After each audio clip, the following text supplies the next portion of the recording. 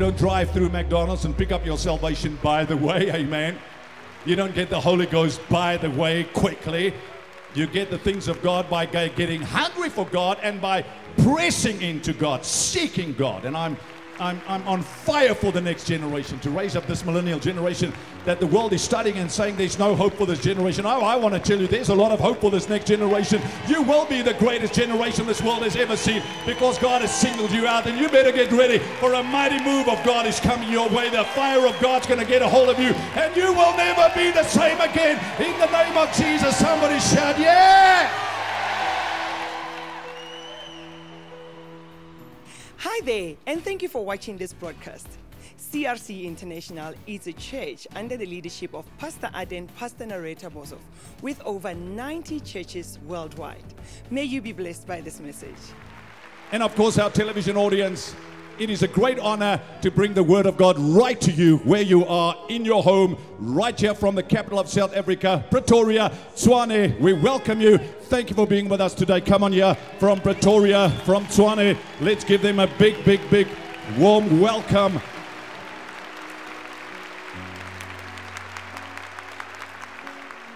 We talk about the Holy Spirit, and today I want to focus on how the Holy Spirit leads us. Because really, the key to success or to progress in life is to make the right decision at the right time. It's really to know what to do, when to do it. Amen. Bible says time and chance happens to all of us. It's when to get the girl's phone number if you're not married. It's when to take her on a date. It's when to apply for the job. It's when to witness to your friend. It's when to launch out into the deep, when to let down the net. It's to know what to do and when to do. Well, we spoke about this last week that God does not want us as His children to live the guessing game. He wants us to live knowing what the future holds. We can know tomorrow. You don't have to go to the witch doctor. You don't have to try and call up an ancestral spirit because you cannot. No spirit that died can ever come back. That's a demonic spirit, and you better accept that. You cannot uh, mix ancestral worship with following Jesus Christ. Can I have a big amen here today? Okay. So the dead cannot return. You cannot talk to your old grandmother jou, jou, jou ouma's met die helm gebore, uh, that's all familiar spirits. We want to uh, uh, uh, do things God's way. We want to understand that um, everything out there in the world is but a fake imitation of what God gave us. We have the original. So we should live with the unfair advantage. And remember that deception does not run opposite to truth, it runs parallel to truth. So the Bible says even the very elect can be deceived. As Satan transforms himself as an angel of light, you hear a voice and you think it's the voice of the Holy Ghost. So I'm going to show you how to make God guided decisions. And next week we're going to talk about how to take God guided steps by faith. Because we have to make the right decision and then we have to do the right thing. So, John chapter 14, the Bible says, verse 12, the Bible says, most assuredly, Jesus speaking, read in my Bible, he who believes in me, the works that I do, he will do also and greater works than these he will do because I go to my Father. Whatever you ask in my name, that I will do, that the Father may be glorified in the Son. If you ask anything in my name, I will do it. If you love me, keep my commandments. And I will pray the Father, and he will give you another helper that he may abide with you forever. Now, can I have one of my twins here again? Let's just catch up quickly, okay? Give a big cheer. Uh, this is Jesus, amen, okay? But this is Jesus talking to the disciples, and he says, so this is Jesus with the disciples says, I will be with you. You're going to do greater works than I did. I mean, Jesus didn't struggle throughout life. All he did was raise the dead, cast out devils, heal the sick, cleanse the lepers. All Jesus did was, uh, when people didn't know where the tax money, money was, he said, Go, go, go, catch a fish, man. Go do a business deal. Don't worry, don't fret, don't sweat. I have the answer. I'm going to get you out of the ditch. I'll get you back to the mountaintop. I'll walk you through the valley. I'll walk you through the desert. I will sustain you. That is Jesus with the disciples. And then Jesus makes the statement He says, You will work the works that I worked, and greater works than these. Now he's going to tell us how we're going to work those greater works. Says, I'm going to pray the Father, and he will give you another helper. We saw the word helper is the Greek word parakletos, which means helper, strengthener, standby, advocate, teacher, one who aids you, one who assists you in everything that you do. That's the Holy Ghost. Amen. Not Casper the ghost, because when you speak about the Holy Spirit, strong men want to run away because they think the Holy Spirit is not a manifestation. No, or is a manifestation. The Holy Spirit is not a goosebump. The Holy, although it can give you a goosebump, the Holy Spirit is not a manifestation. The Holy Spirit is equal to God. The Holy Spirit was there in the beginning when God created the heavens and the earth. The Holy Spirit represents Jesus on planet Earth today. Jesus physically, right now, is seated at the right hand of God the Father, where He lives to make intercession for you and me. That Jesus who walked with the disciples said, I'm going to send another helper. Helper. Somebody to help you, to assist you, to aid you in life, in ministry. Somebody who will guide you into all truth. Then in John chapter 16, verse 7, he says, Nevertheless, I tell you the truth, it's to your advantage. It's expedient for you. It is better for you that I go away, because if I do not go, the helper, the Holy Spirit, will not come. But if I depart, I will send him unto you. Please, Holy Jesus, by never leave me nor forsake me, but he left. Amen. Say, oh. Well, that's how the disciples felt. 500 heard him say, uh, I'm, I'm leaving, but I'm sending another helper. And before they change the world, he says, Wait in Jerusalem for the promise. Wait for the promise. Uh, I mean, we spoke about this. The early Testament church, before they did anything after people got saved, they introduced people to the Holy Spirit. So, Jesus, will you please come back? Will you please go stand there? And you're in heaven, climb on the platform over there, and um, you're sending the Holy Spirit. Here comes the Holy Spirit, the day of Pentecost.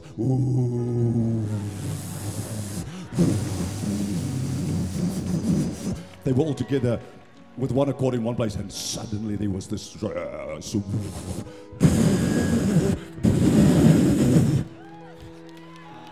There was the sound of a mighty rushing wind. You know, you talk about God not being dramatic. God's very dramatic. Old Testament, he talks on the mountain shake. People are so afraid they run for 16 miles. The Bible says they stood afar off. That afar off literally means 16 miles. People come to our church and they say, it's a little bit loud in this place. Well, if you were there when God spoke, the whole earth shook. The heavens shake. Amen. The earth is God's footstool. If God taps his foot on the beat, the whole earth begins to shake. Amen. So on the day of Pentecost, the Holy Ghost didn't come apologetically. He made a statement. He made an announcement. The same way there was an announcement when Jesus Christ came. The angels, glory to God in the highest, goodwill to all mankind. There's something dramatic again. Angels appeared to the shepherds at the birth of Jesus. The announcement is made. Herod knows. The whole world knows. knows. The stars align. The Savior is born. What do you think is going to happen when the Holy Spirit comes? Not something that is non dramatic on the day of Pentecost, the announcement happens. They were all together in one place with one accord, and suddenly there is a sound from heaven as of a mushing, mushing, rushing mighty wind, and there appeared cloven tongues of fire, and one sat on each of them. So God came very dramatically. The Holy Spirit came to this earth in the place of Jesus Christ. As Jesus walked with the disciples 24 7, now Jesus said, It is better for you that I go, because if I don't go, the Holy Ghost will not come. So He has sent the Holy Spirit to be with me. Wherever I go, there's the Holy Spirit. The helper is there, the aid is there, the comforter is there, the counselor is there, the strengthener is there, the standby is there. The one that is as real as Jesus is now on the earth, but you cannot see Him, you have to discern Him and you have to perceive him. He's invisible, but he's there. And when he moves, you know it. Like when the wind moves, you can't see the wind, but you see the result of the wind. But people fear. When it comes to the Holy Spirit, people have this warped idea of the Holy Spirit. Well, let's have a Pentecost week, and all we do is focus on manifestation. He never said, I'm sending a manifestation. He said, I'm sending a person. And we all know when a person is in the place, you know he's there. I mean, I was a single till I was 23. Then I got married, and there was a person in my bed. And after the person left my bed um, to go make food, because I taught my wife right,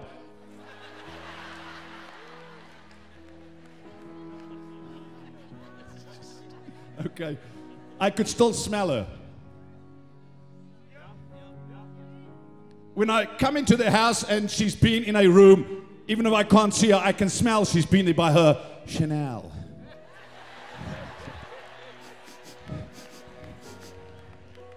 can smell the presence of God. I mean, the religion have taught us to, to not use our senses, have taught us to be desensitized when it comes to the things of God, have taught us that God is not real. So when people walk in a building like this and people are excited about a living God, they think, near young, near, near young. Yeah, but when Tiger Woods heals a, hits a golf ball, everybody starts, "Ooh, ooh." the same person that's dead in church on a Sunday can shout his head off for somebody that won 79 major or made, uh, P- tournaments on the PGA. Oh, Tiger, oh, Tiger, oh, Tiger, oh, Tiger. And we get the pom pom girls and everything, but we come to church and we can't worship God. We come to church and we can't look for the presence of God. David, who was a mighty warrior, David, who was a mighty man of God, he said, I come to church to look for you, God. Not for the preacher. I come to look for you, God.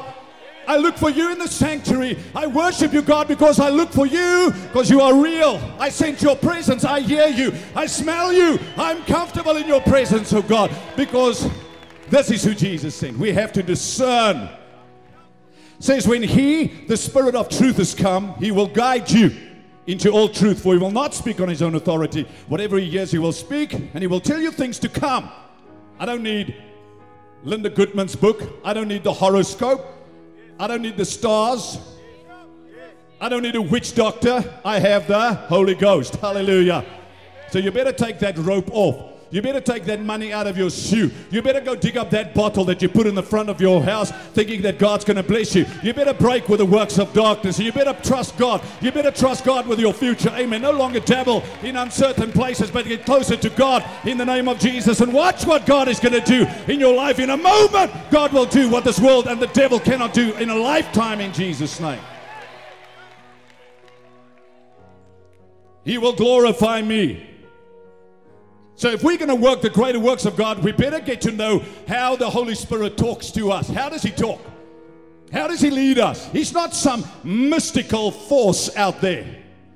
I told rugby players, uh, some of the Springboks in the Bible study this week, I said, don't say the man upstairs, please. Can we have a little bit of respect for God? Don't the man upstairs. Don't the big guy upstairs. That big guy, listen, one day when you stand before him, your knees are going to knock. Your knees are going to knock at a million billion miles an hour. Don't get so familiar with God that you forget who this God is, who this Jesus is, who died on the cross for you 2,000 years ago. You better recognize that God is God. He's Elohim. He's the most high God. He's the high and lofted one. And He loves you. That's why He sent His Son, Jesus Christ, to die for you.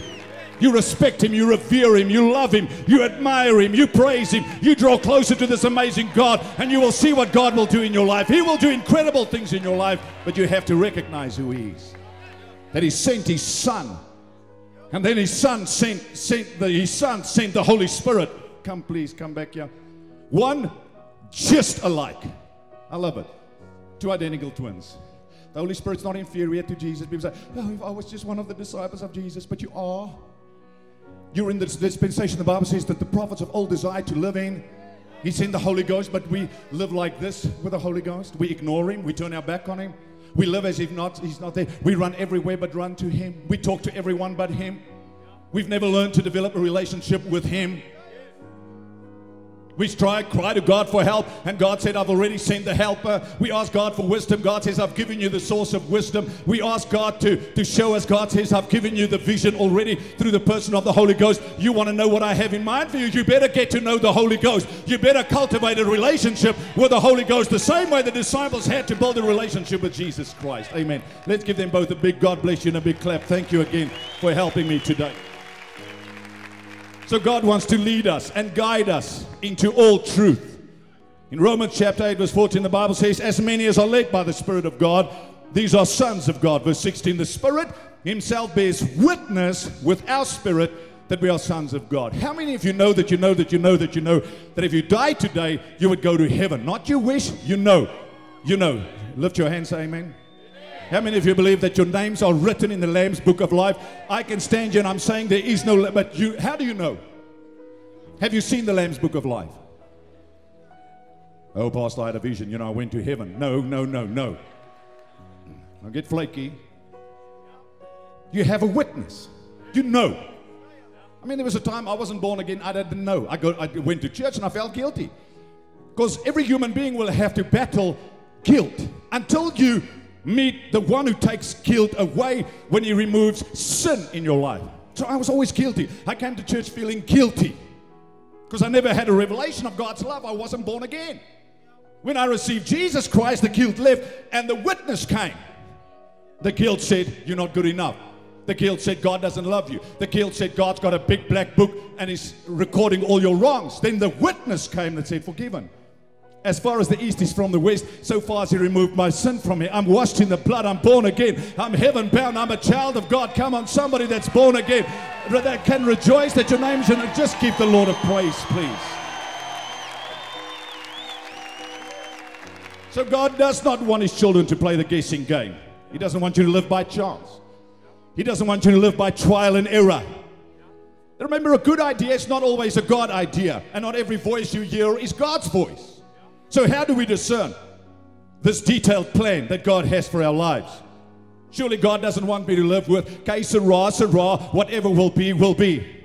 Now I do it right, and tomorrow I do it wrong. We're not alive by accident. We've been predestined by God for great things, each one of us. Whether you're black, white, Asian, colored, it doesn't matter.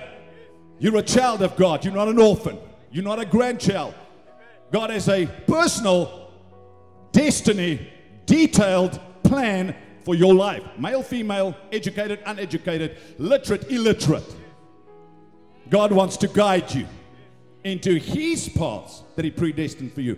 Jeremiah 29 11, the Bible says, I know the thoughts that I think toward you, says the Lord. Thoughts of peace and not of evil, to give you a future and a hope. So Jesus sends the Holy Spirit to be your personal helper to do five things quickly. Number one, to guide you into all truth. Psalm 32, verse 8, I will instruct you and teach you in the way you should go. I will guide you with my eye. The word teach in the Hebrew means to instruct, to direct the flow of something. So God says, I will teach you, I will direct the flow of your life.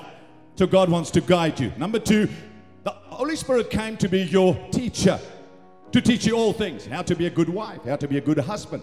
Not how just to be a witness, but how to live this life successfully for the glory of God, how to be a man of integrity, how to care for the orphans, how to be the good Samaritan or the good South African, how to be successful in business, how to be a doctor, blessed by God. Amen. When you operate, when a patient sits in front of you, you just suddenly know, although all the symptoms are like this, you know in your spirit something, but but but this is this is what's wrong Yeah, That's the Holy Ghost. It's supernatural.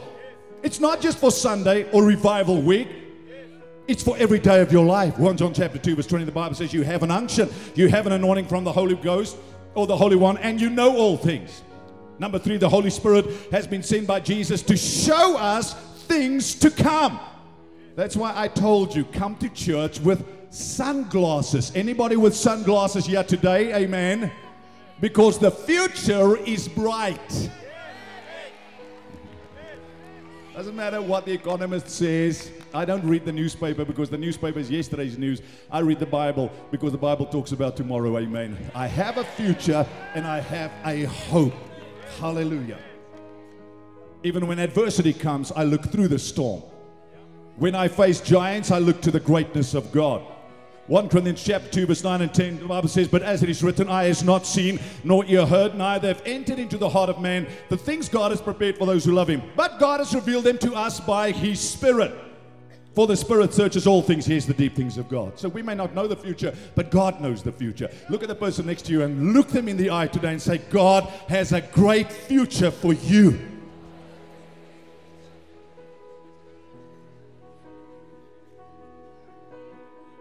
Number four, he, he's yet to bring things to your remembrance. Because we can let things slip so easily. We stand in church, we say, Ah, God, I will go where you want me to go. I will do what you want me to do, blah, blah, blah, blah, blah, blah. And then you worship God says, But remember, love your wife, give to the poor, be that home cell leader, open your house for me, be generous, be a businessman of purpose. Not just when you stood and you had a, a, a spiritual high, and in that moment you say, I'll do anything for you, God. The Holy Spirit says, I heard that. Now let's walk this path together. Make a difference in your world. Number five, He came to glorify Jesus. Everything we say and do should be for the glory of God. How we carry ourselves, how we park our cars, how we miss the parking attendants when we leave church. Amen. Not we lift our hands on Sunday when we come to church, worship God, and when we leave the hands do other signs, okay? Great coffee shop. We're doing the mezzanine floor, a beautiful lounge where you can go chill and relax. We're going to give you an extra service so you don't get too agitated on a Sunday, 8 o'clock in the morning, so you can keep on pursuing God. But I've learned if you make things too easy for people, they don't appreciate sacrificing for God. It cost Jesus everything to die for us. And I think a little bit of sacrifice for God is a good thing. Amen. It's not a fast food restaurant. You don't drive through McDonald's and pick up your salvation by the way. Amen.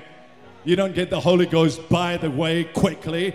You get the things of God by getting hungry for God and by pressing into God, seeking God. And I'm I'm, I'm on fire for the next generation to raise up this millennial generation that the world is studying and saying there's no hope for this generation. Oh, I want to tell you there's a lot of hope for this next generation. You will be the greatest generation this world has ever seen because God has singled you out, and you better get ready for a mighty move of God is coming your way. The fire of God's going to get a hold of you, and you will never be the same again. In the name of Jesus, somebody shout, Yeah! But every decision I made I had three sure witnesses. Because I've seen too many people that hear a voice, they think God spoke to them, they walk into my office, they say, Pastor, God spoke to me. What do you think? I say, Well, amen, go for it. Because you just told me God spoke to you, and God outranks me. So when you tell me God spoke to you, I can say nothing. But when you say, Pastor, I think, I, I feel like I'm considering, what do you think? Total different story. But when you pull the God card, God outranks all of us. Amen. So we, we, we want to now God. We want to know how God talks to us because having been a pastor for 32 years, I've seen many people on fire that are now in a ditch somewhere. I've seen many people that thought God led them and they are now a skeleton. I've seen many people quit their jobs and go to the mission field, and I knew it wasn't God. And I warned them, and they said, But God told me. And today they finished, not even serving God. Many husbands and wives that stood before the altar until death do us part, and then the person gets a word when they pray. Shundai, Hyundai, tie my bow tie. Oh, Pastor, you know, we're going through a bad time, but the Lord spoke to me that uh, He's going to give me an end time wife. Now, if you've gone through a divorce, it's, it's, it's, it's sad, it's tragic. You cannot change that. But if you're thinking about divorce, please don't. Amen. I mean, divorce is not the unpardonable sin and there's enough pain. I'm not here to judge or condemn anybody that's gone through divorce, but I want to tell you let's not spiritualize our battles, let's not spiritualize our decisions, let's not spiritualize uh, things that should not be spiritualized. Amen. Sometimes we make bad decisions, then God will help us get out of those bad decisions. But I'm saying we need to get to the place of prevention rather than cure. Because God said, I will show you things to come. Before your child rebels, God wants to show you the sign. Spend more time with your boy. Love your boy. Put your arms around him because something else is busy stealing your boy's heart. Don't be a dad who doesn't get it. Be a dad who walks with God so that you can discern the work of the enemy in your family. Come on, say amen. Not, I don't know what happened here. We have the unfair advantage when we walk with the Holy Ghost. So God talks to us in many ways. Number one, visions, which is an exception. Any human being will maybe get one or two visions in his life, and it's always a purpose but relating to God's kingdom. Number two, dreams. I've never had a dream, so thank God I'm not an old man yet. Hallelujah. Audible voice. It's an exception. Naval Hill, I heard God audibly talk to me. Run for me, or I'll find another. Come before the voice of the Holy Spirit, which is authoritative. We'll talk about the witness in a moment, but when the Holy Spirit speaks to you, he doesn't mince his word also. When God spoke to me to come to Pretoria and I delegated that, I sat in the front row. Pastor Casey Treat was speaking, and the Holy Spirit said to me, I've told you. Now, that's how God deals with me. He, do, he doesn't talk to me via Cape Town.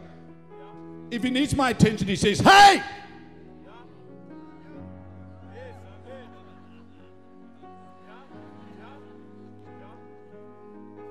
Like we, we, we make Jesus, we, we're like this little charismatic, and that's why no wonder people go nowhere, because they have no respect.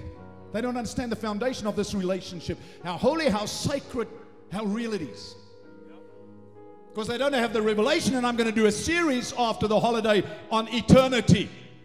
So we can understand eternity while we live in this world. Because people live as if they're going to live forever. They don't understand the reality of eternity. That our prayers affect eternity, our lifestyle affects eternity, our witness affects eternity, our giving affects eternity. We will stand before God one day, and I hope every one of us hears, Well done, good and faithful servant. That's what I want to hear. If this powerful message has touched your life and you'd like to give your life to Jesus, pray the following prayer with Pastor At.